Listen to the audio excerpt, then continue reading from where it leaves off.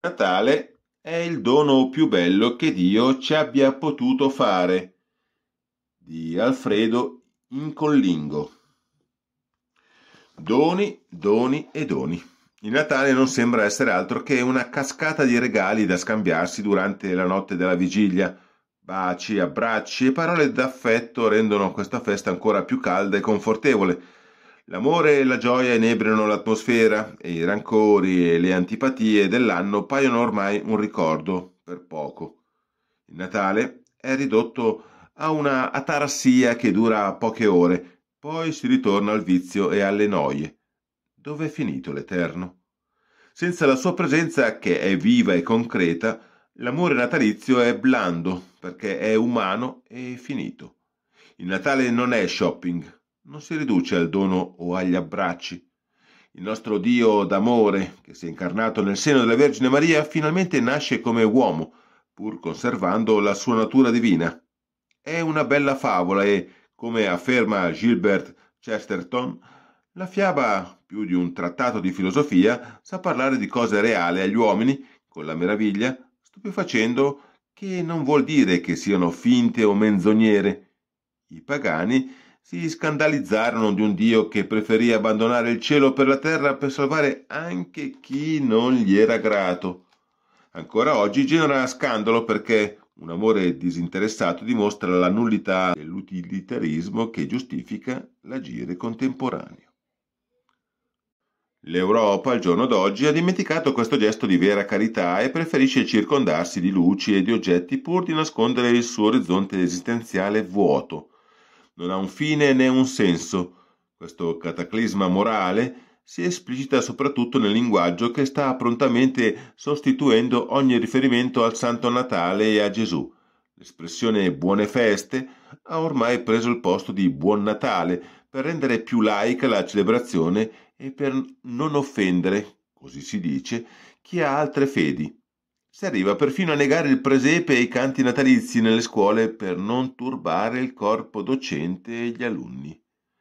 Aveva ragione Gilbert Chesterton quando in Lo spirito del Natale, con la sua tipica vena ironica, spiegava il tentativo tutto moderno di ridurre Cristo ad un principio umanitario.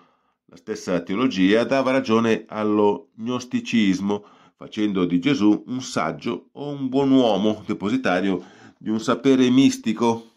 Il materialismo e lo spiritualismo sono le due tendenze inconciliabili nella modernità, due modi estremi e sbagliati di intendere la realtà e l'esistenza.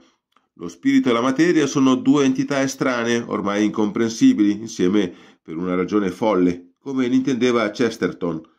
Il folle non ha perso la ragione, ma il contatto con la realtà. L'intelletto ottomista aveva saputo accordare entrambi, ma il razionalismo ha infranto l'idillio. Per reazione ha prodotto il suo esatto contrario, l'esasperazione nell'accordarsi con lo spirito.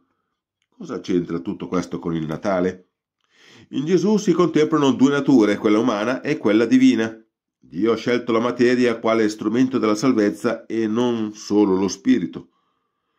Le stesse lettere paoline, per esempio, invitano a preservare il tempio dello Spirito che è il corpo.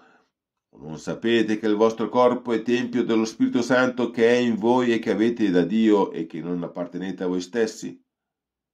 Benedetto XVI, nella sua sublime enciclica Deus Caritas Est, così affermava a riguardo. L'uomo diventa veramente se stesso quando corpo e anima si ritrovano in intima unità. La sfida dell'Eros può dirsi veramente superata quando questa unificazione è riuscita. Se l'uomo ambisce di essere solamente spirito e vuole rifiutare la carne come una eredità soltanto animalesca, allora lo spirito e il corpo perdono la loro dignità. E se, d'altra parte, egli rinnega lo spirito e quindi considera la materia, il corpo, come realtà esclusiva, perde ugualmente la sua grandezza. Cristo è il nostro farmacos, la nostra cura morale e fisica, che placa i dissidi interiori e ci allontana dalle false dottrine. Solo in Gesù troviamo quell'unità che ci fa sentire persone, individui razionali e metafisici in comunione con Dio Padre. Dono è la parola chiave per comprendere il Natale insieme al verbo donare.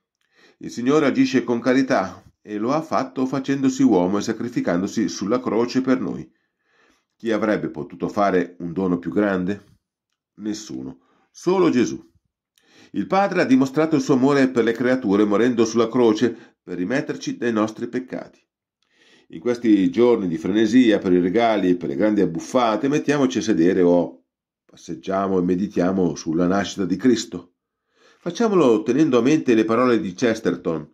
I regali di Natale sono simbolo di una protesta permanente fatta per conto del dare come distinto da quel mero condividere che i moderni sistemi di valore presentano come equivalente o superiore al primo. Il Natale rappresenta questo eccezionale sacro paradosso. Dal punto di vista spirituale, se Tommy e Molly si dessero a vicenda una moneta da sei penny, compierebbero una transazione di valore superiore rispetto alla condivisione di uno scellino. A Natale veneriamo un bambino, non uno qualsiasi, ma il Figlio di Dio, che ogni anno fino alla fine dei tempi ci annuncerà il suo messaggio di salvezza.